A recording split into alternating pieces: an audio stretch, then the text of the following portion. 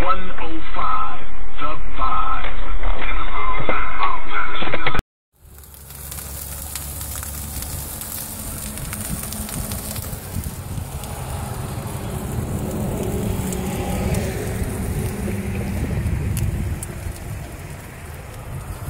Affirmative. We received a call from a passerby stating that there was a car that was on fire. It is now out, and it's sitting on the off ramp to 19 there.